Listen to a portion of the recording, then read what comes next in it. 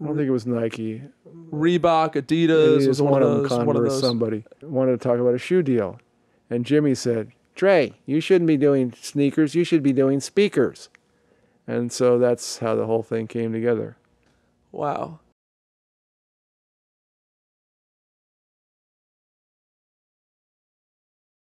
So yeah, let's just jump in because you're easy to have a conversation with, right, Peter? I guess. Well, thank you for joining us today on Connection is Magic. Nice sign. Thank you. Straight out of Australia.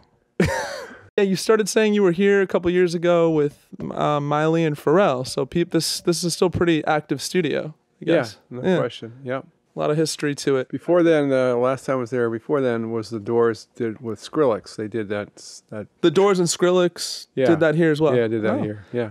Like you're piling on the history. This is Yeah. this is good. Okay, because I was I was telling people, oh, it's cool. We're, we're recording in the room where they they cut Angie by the Rolling the Rolling Stones. Did Angie here? That's true. They've done a lot of stuff here. I, that's the only, you know, this is only more recent stuff I can think of. yeah. Well, let's dive right in. This is a show about you know transitions and how life has a way of giving us these curveballs, and we don't always want them. and then like, and then we get to learn and and grow and that and that fun stuff. It's fun on the other side, but it's not so much fun when you're going through it. So I got really inspired to um, for my own transition, you know, to do a show about it, and then lo and behold, I'm interviewing all these you know amazing people, and they're saying the same thing about their journey. Um, for you, you started out as a software engineer, right? Something, Yeah. right? Yeah. Music law, software engineer. That's that's a big leap. It's my training was in. I mean, my degree is in math. And then I uh, knew I was going to go to law school because basically math people were too smart for me. So I had to go someplace where I was smarter than the other people. So I applied to law school, but I needed to make money, so I applied for a job for uh, working for Rockwell. You know, working on the space shuttle Okay, wow. because it paid better money than a summer job delivering flowers, which was my prior summer job. So I did that for four or five months, and then uh, I told them, "Oh, I just got into law school. Like, get into law school two weeks before you leave. They don't know any better." So I, I left and went to law school. That was it. Well, there's a little bit more there from what I know. Let's dig in further. I know uh, there's a woman named Sarah Tomato. Oh yeah, that's her name. Sarah Tomato. And there was a rejection letter I think she sent you and and you said I reject your rejection letter. I had a nice little correspondence with her. I rejected her rejection letter. Then I started asking her for information, you know, about the dorms and where I could stay. And she wrote back and said, No, you don't understand. You were rejected. And I said, No, you don't understand. I didn't accept your rejection. And let me know when I should be showing up. And didn't go over big. Um, and then the sort of How old were you at this point, by the way? well, Were you quite young? Yeah, I was 21. So um, I could tell she was getting fed up with me. So because I was 21 and uh, you know, very very mature, I took a Hunt's ketchup bottle and there was a logo on it of a tomato, and I took the tomato out and sent "Dear Ms." and put the picture of the tomato and sent it to her. That was the last I heard from her. That didn't win her over, Peter? No, I- Okay. no, I was I was kind of done. I, I had to find a different school. At the time you really wanted to attend Berkeley, right? Was there a period of oh shit, you know, what am I going to do now or was it like a quick, you know, transition to UCLA law? Yeah, it was fine. I mean, I wanted to go to Berkeley because my best friend was there. He was in the physics department, and so that's why I wanted to go there. But I didn't get in, so I went to UCLA, which is an incredibly great school. So Yeah, it's got a great reputation. yeah, Okay. Okay. Now, were you like, did you have to study really hard, or did did this just come naturally to you did I have to study hard for what? At, at UCLA Law? Like some people are just, you know, seemingly coast through things because they're just naturally, you know, good at things, or some people have to like work harder, you know, to get to get good grades. Well, look, I, like I said, I went to Harvey Mudd College, and the people there were incredibly smart, Yeah. and the math people there were sort of on a next level.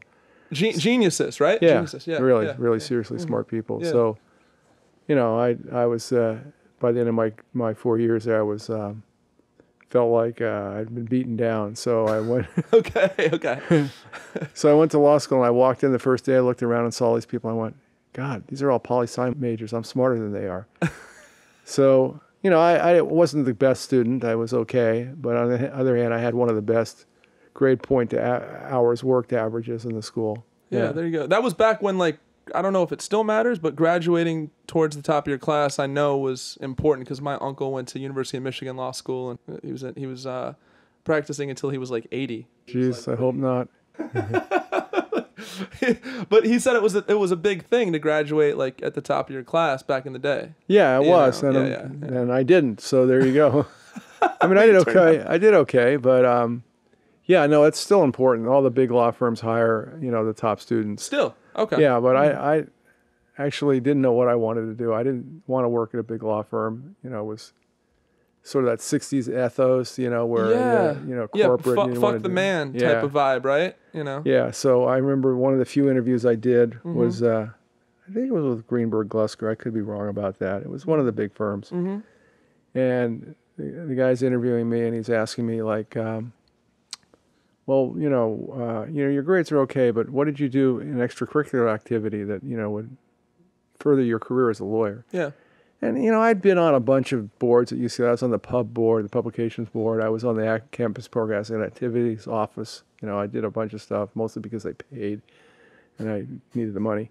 Um, so the guy, but the guy said, well, what did you do that was could relate to your career as a lawyer? I said, well, I ran the speakers program here. And he goes, well, no, I was thinking of more erudite things. And I said, well, I, you know, I wrote some articles for the Alaskan Law Review, I think, uh, something like that. He goes, he's kept pressing me and pressing me, and he, I didn't know exactly where he's going. And he goes, well, no, I was thinking more of things like law review. I said, well, the law review people here are kind of the biggest jerks in the law school, so I'm really interested in working with them. And he goes, well, excuse me, I was on the editor of the UCLA Review in 1966. I go, well, that's your problem, isn't it?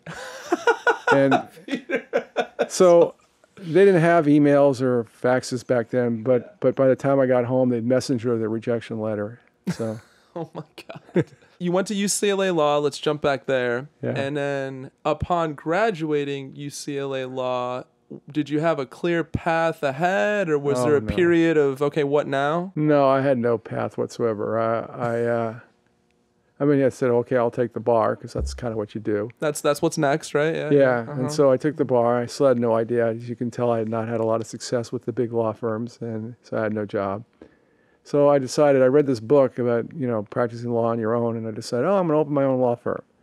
it's pretty ballsy back then, right? I mean that's that's that, know, or, yeah. or stupid. Uh, So I did that for a while, and then I realized a lot of things I didn't want to do, which was run my own law firm.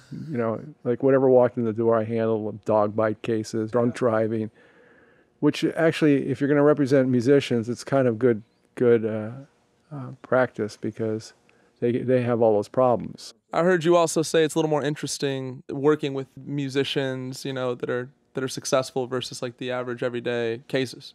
You know. Yeah, no, I mean, uh, well, it's interesting for two reasons. The people are interesting, and the other reason it's interesting is because when you're representing a, musician or an artist, you're basically you're the business person. You're running the business because Mm-hmm. that's not what they do. They make music. Mhm. Whereas if you're working for uh, a big corporate firm and you're doing work for uh, an outside, you know, Microsoft or something, you're, Yeah. you're basically you're basically being told what to do. You know, you're not making a lot of the business decisions. The executives are.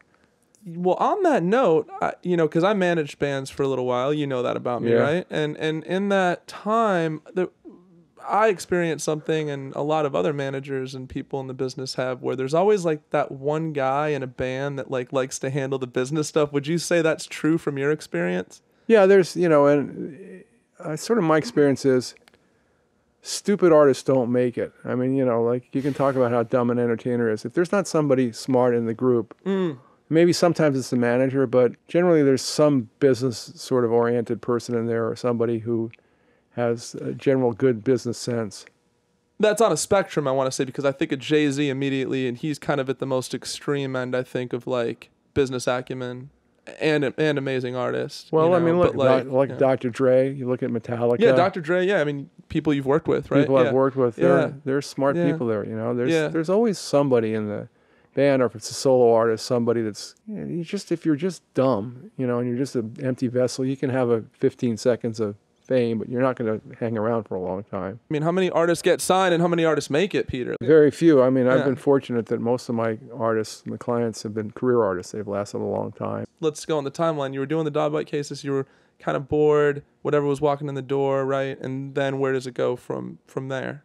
Well, I mean, uh, my friend of mine from law school, Howard King, who's now my current partner, was working at a firm called Manatt in the music department, Manatt Phelps, and he calls and says, "If you know of anybody that wants a job in the music department or doing music law, there's going to be an opening on Friday." You go, well, "Why is that, Howard?" He says, "I'm quitting. I hate these people." And so I said, "Well, I'd like to do that." So uh, he quit, and I applied, and after several months, they hired me, and that's how I started. And that's how you got your start as a music lawyer. Yeah. Somewhere along the line in the early stages of you as a music lawyer, um, Prince came into the fold, right? And he was a, a then unknown artist. I showed up at work and they dumped a bunch of files on me and my you know my boss was Lee Phillips. He was the senior partner and he represented Prince and Prince was at the time nobody. I said who's this? Prince Rogers Nelson. I go who the hell is this? So they said you, you're going to be working on this. Actually at the time he was not that obscure because his first record made some noise but he was more sort of the black community knew more about him than you know mm-hmm. like us white folk. And so I didn't mm-hmm. really know much about him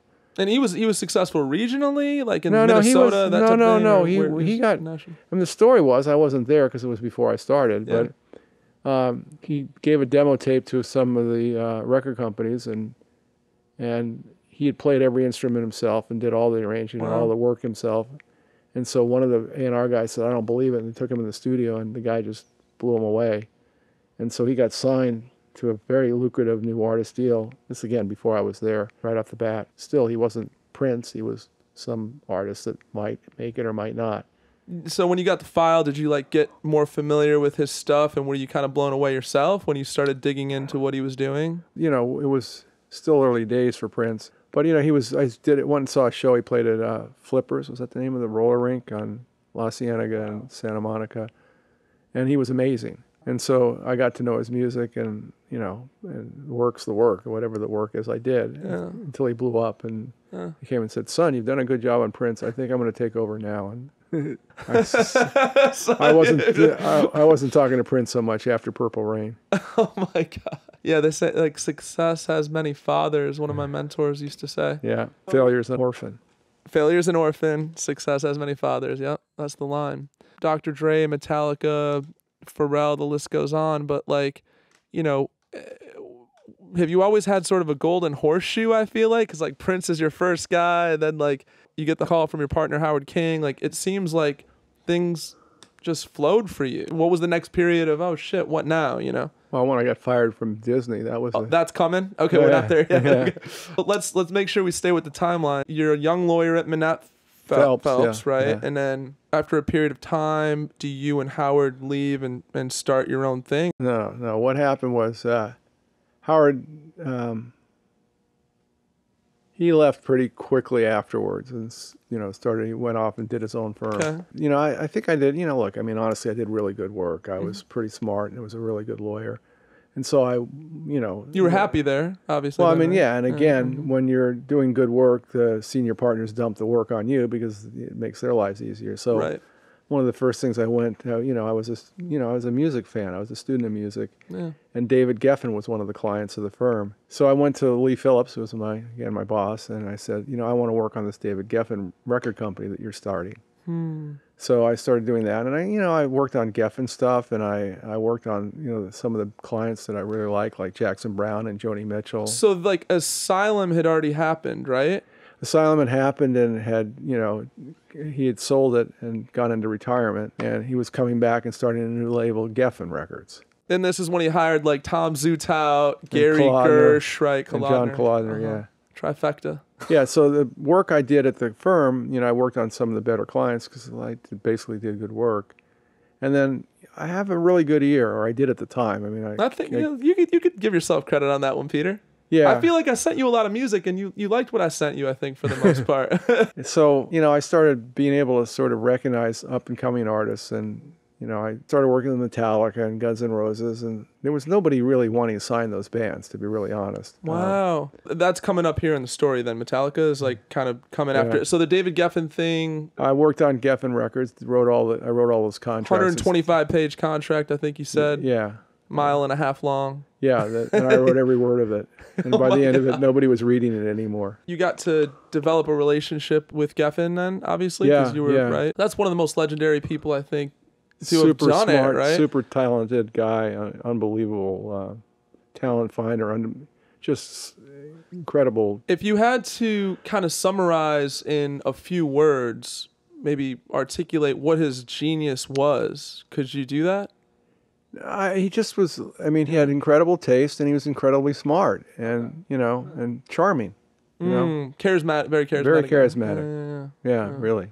Yeah. He had Laura Nyro, I think. Uh, you've seen the documentary, of course, Yeah, right? Yeah. Yeah. When I got to know him, he was always trying to help her out after you know she had left, and um, Even down to like she wanted like the lyrics in the the the jacket that comes with the music to smell like lilacs or something like that. Yeah, he, he apparently got that done for her. yeah, Da- is- David would get stuff done. I mean, Yeah. he, he he he he delivered. Yeah, I mean, people like him and Irving Azoff, they they really know how to basically uh, control the situation. well said. Okay, so the Geffen thing goes down, and then you kind of soon after you're meeting Metallica. Yeah, the, the way that sort of happened was um, I was representing a guy named Lonnie Simmons, who was uh, had total experience music and total experience was a club. I don't know if you know South Central, and Lonnie was incredibly difficult. He had the Gap Band and Yarborough and Peoples, and Gap Band obviously was very successful. So Lonnie was always renegotiating his contracts. He was never happy. So there was one. There was one. Uh, you know, it was always always urgent, had to get it done. So I flew into New York between Christmas and New Year's, where nobody in the record business was working at Holy all. shit! And I was uh, meeting with the business affairs guy trying to get Lonnie's deals done. And there was a guy wandering around the halls, you know, sort of a Jerry Jerry Garcia looking guy wandering around the halls with a, you know, Ter- Tower Records bag. And the guy that I was meeting with, a Ted Green, says, You should meet Cliff Burnstein. He manages Def Leppard. I go, I love Def Leppard. Cliff couldn't believe a lawyer liked Def Leppard because, again, that was not what lawyers listened to. They more into, you know, whatever was new and shiny Right. all those skinny tie bands out of England, and I was like, I love Def Leppard. So that's how I got to meet Cliff, and then um, then I met Cliff in L.A. in Irvine. He was doing when they were doing a show, and I came and saw him, and then he told me I should check out this band that he was looking at, Metallica. They needed help. They were signed to this kind of onerous record management. Megaforce or something, right? Yeah, Or- yeah, okay, yeah. yeah. Turns out the guy that ran it, at the end of the day, was a really decent guy, but Mm-hmm. he had him signed to slave contracts.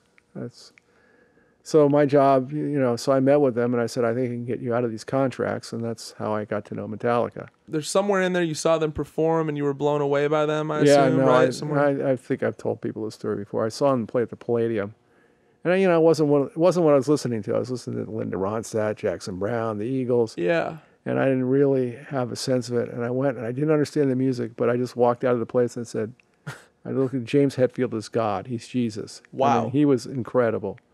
And the band was incredible, and that's how I got to know them. I thought it was in Brooklyn. No. No, Did they were in Brooklyn when I first talked to them. They were in Brooklyn in an apartment with no heat. and they Were, couldn't get were they any- all living together in an apartment, no heat? I imagine you have to ask right, them. I was yeah. just talking to them on the phone. They were trying to s- get a space heater to work when I was talking to them. Holy shit, Peter. and they had no money and they had these terrible contracts and Holy shit. and that's how I ended up talking to them because they were just in a bad way. Oh my god. Artists going from like dead broke and just really at the end of their rope. I mean, this is a very common occurrence, isn't it? Where they're just like, Oh, and yeah. then something amazing happens and boom, off to the races. Um, I remember I, I was working with somebody on Skrillex's team, so I know just as a as an aside, I know like he was in a pretty rough spot. Skrillex was like he was in all this debt, and then you know, Yeah. He was stuck in a contract in in a rock band on Capitol yes, that I had to get him out of. back to Metallica for a second though. When that type of success finds somebody, how do you keep them ground level headed? You know what I'm saying? Like, It's not my job.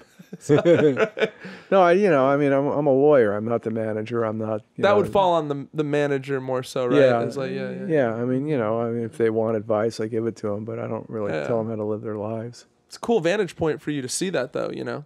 You know? Yeah, I mean, you know, look, I've never been reluctant to tell somebody like an artist that they I didn't agree with them and they they were maybe wrong, Yeah. but you know, at the end of the day, it's their life, it's their career. It doesn't say my name at the top of the, you know, uh, on the album cover. It says their name, and they should do what they feel is right. And you were in some kind of monster too, right? The Metallica. Yeah. And and so James was very publicly going through was it was it alcohol alcohol Yeah. related Yeah, issues, yeah, was right? And so was that hard to hard to watch? I imagine. Yeah, I mean, you've known James this is a- guy for a while. I've known Yeah. him forever. He's a Mhm. great. I've known him since he must have been 19 or something. He's a great guy, and he's heart's in the right place, and he wants to do the right thing. And you know, he had a tough upbringing, and he's had to work through all his problems in public. You know, he's still a salt of the earth, great guy, and you know, and he's doing good. And I hope he's he continues to do great because he's a he's an incredibly talented person, also. He was able to bounce back from all that. Yeah. like which is Yeah. which is great. We love a comeback story, right, Peter? Yeah, You know. especially with people we like. Yes, especially people we like. That's true. We don't we don't want an OJ comeback story. We don't No. want an OJ. No. It's just for the record. Yeah. And then Kirk, right, the amazing guitar player. It, it, it, I would imagine he'd be kind of more introverted. Is he more of an introvert? Yeah, I mean, you know, they're both pretty introverted. I don't. I'd say the extrovert is Lars. Lars, the extrovert. Yeah. yeah, yeah. No, it's the drummer. That's not too shocking, I Yeah. suppose. So that would that would be a nice segue though into the whole Napster debacle. Obviously, that's like music business history 101, right? What happened with Rewritten. that? You like to clear the record on on kind of how that went down. I know. Can I tell you what my takeaway was? Just Yeah. as an outsider observing it, Lars was like thrown under the bus. Yeah, I mean, you know, it just because the whole thing was everybody says, you know, they should have worked something out with Napster. There was nothing to work out with Napster. They were giving away music for free. Right. And if they tried to charge for it, there would have been Crapster or some other service that would have been available. Yeah, and there's a famous quote of how can you compete with free? Can't compete with free. Yeah, and so, you know, they were they were just the poster children for this this uh, lawsuit because you know, I mean, they were doing they were doing a service to all the musicians. The, the rewritten history is that it was a mistake and was wrong to sue the fans. They weren't fans; they were th- they were thieves. And, Yeah. and and you know, there was no really good way to monetize it at the time. It, and they, the record companies had tried, but they did this thing called press play or something. They're not technology companies. that was their attempt to duplicate the technology. Well, yeah, you're was their Right, attempt okay. to, you know, make what ultimately turned into iTunes, but they Mm-hmm. they couldn't, you know, they're not technology companies. So the fact of the matter is, those lawsuits at least set the ground rules for what you could do and couldn't do. And by the time the technology companies, namely Apple, Yeah. came up with a, an effective technology, at least the rules were set. And you know, Dre was also a plaintiff in that case. And nobody gave Dre any crap about it because basically his fans, unlike the whiny white kids that you know wanted shit for free, Dre's fans respected that he went in the studio and busted his ass and put out great music, and they thought he should get paid for what he does. completely. Yeah, yeah, that makes that makes a lot of sense. It's Yeah. like, it yeah. The irony is thick because it was like I feel like there was a lot of privileged people upset at that. Then right, it Yeah. was like the more privileged people were more upset. Um, it was kind of like the first iteration of Karens. Have you heard the term Karen? Yeah, yeah, like yeah, exactly. yeah. Yeah, whiny white kids. yeah. So there was two plaintiffs you said, which is kind of uncommon, right? Well, they were the only two people that would step up. Everybody else was like hiding. You know, Were they the- like deer in headlights? All the other major artists. Yeah, at they the didn't time? want to. They didn't want to get involved. They didn't look at look at the crap Metallica took. I mean, you Yeah, know, who oh, who that's wants why. That's why they're like, we're not getting in the firing squad. I yeah, got who, it. who wants that? And you know, Yeah. and it's so much easier to say, yeah, music should be free. The record companies are ripping you off, and it's easy to say until they go in and try to get their money. Jimmy Iovine went somewhere and had a meeting with somebody. I thought it might have been Steve Jobs or maybe it was somebody else. But they're like, you know, Jimmy, not every business is meant to last forever. Do you remember that quote? I kind of remember. I know that. Yeah, But then Steve Jobs, it's like this show is about transition and change and, and making your way to the other side of something difficult, right? And and that's a great example because Steve Jobs was like the white knight in all this, right? well, yeah. He, the technology caught up with the the problem, and you know, Yeah. at some point, free. Look, there's always going to be. Michael Eisner said this. Only ten percent of the people are always going to steal it. You know, the idea is to get the other ninety percent to pay. Yeah. And what happened was they came up with a technology that was easy to use, mm-hmm. was reliable, didn't have a bunch of malware that would you know screw up your system, and just became a, a better user experience and not worth the trouble of you know the peer-to-peer sharing, which was kind of a nightmare. Completely. And Yeah. and what do human beings love more than anything? I feel like it's convenience. Convenience, Yeah, yeah. yeah, yeah. Yeah, So, you know, just don't want to pay a whole lot for it, but you know, so remind me again. The verdict kind of was against. No, no. You sorry. You won, and then you squashed Napster, and then these these. well, we other- didn't. We we settled. They took Metallica stuff down and said they wouldn't. At some point, there was no reason for us to continue fighting. You know, we they said they won't put your stuff on the system. We'll block it all. I looked at Lars and said. We got what we came for, and then there was, you know, subsequently the uh, record companies finally woke up Yeah. and realized there was a problem. I remember when it started, they, I had record company people telling me, "Say we're selling selling more CDs than ever. What are you talking about?"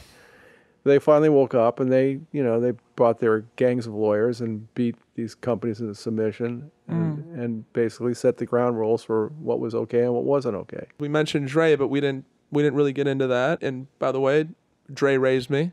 Feel the Chronic, you know, was like that. It was like the the anthem. Uh, let's see, I was in middle school at the time, so that's kind of that. You know, 13 years old, Peter is like the age. You know, when, Right. when music just kind of captivates you. Um, and I, it was actually Deep Cover. I don't. You, you, might- you remember Deep Cover? There was a s- there was a movie soundtrack called Deep Cover. Yeah, I remember. Yeah, and so that was like, oh, what is this? It was like sounded so different. So how was? Tell us about the first meeting you had with, um, you know, Dr. Dre. I think that'd be phenomenal to just be in the room where you're like, oh, what was that first meeting like? This is kind of funny. Um, I was running Hollywood Records at the time, and I thought he was incredibly talented. And I had a group called The Party, which was a bunch of kids from the Mickey Mouse Club.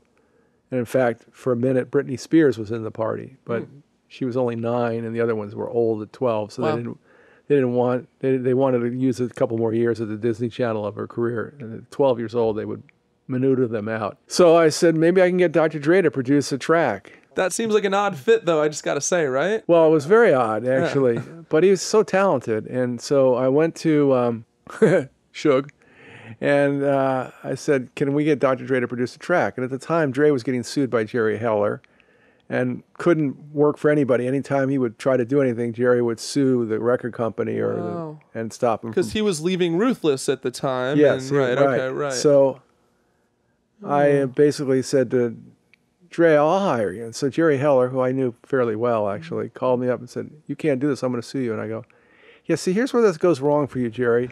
Other people you're dealing with are record executives. I'm a lawyer. I mean, they just have me parading as a record company executive. I don't care. So I, he said, Well, you're going to ruin my whole thing, you know. And we, you know, I, I said, Look, Jerry, it's really simple. I'll give you 30 grand to, to waive your exclusivity. You tell everybody it was 300,000 and I'll back the story. And then I get to use Dre. And so we ended up using Dre for this project and he produced the track. Took him eight months, but that's Dre. but at least he got some money. He was getting starved out because he couldn't work. And, But Right. he was working on the Chronic the whole time at, at Solar Studios with Dick Griffey. That's who I called. It wasn't Suge, it was Dick Griffey. I was on the other side of the Dick's Solar deals with Elektra. Sound of Los Angeles recordings. yeah, Right. Yeah. and I was the label that you know he was. He had a label with Elektra Records, and I was the lawyer for Elektra Records. Yeah. Okay. So it was actually Dick that hooked it up.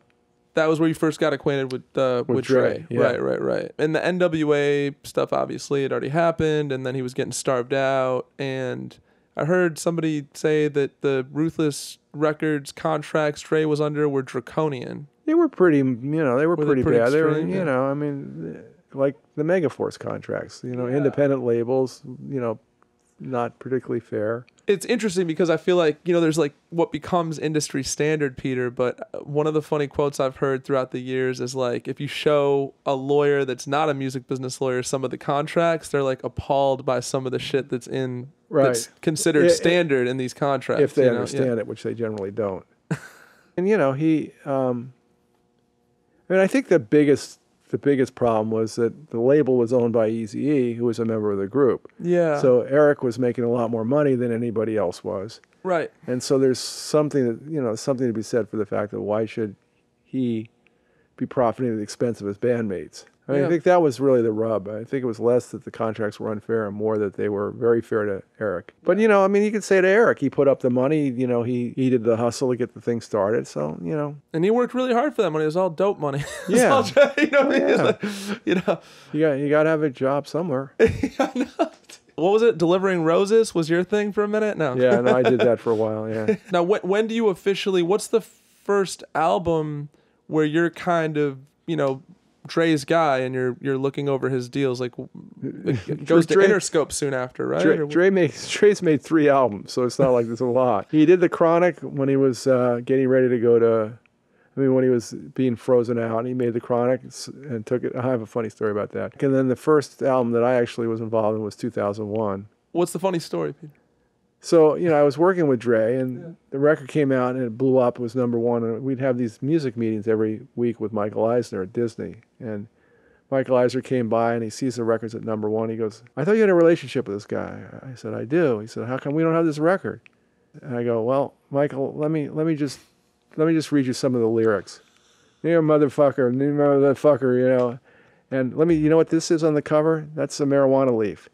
And and it, and the deal was four million dollars. He goes, "We can't do that." I go, "That's why it's not on the label." That's great.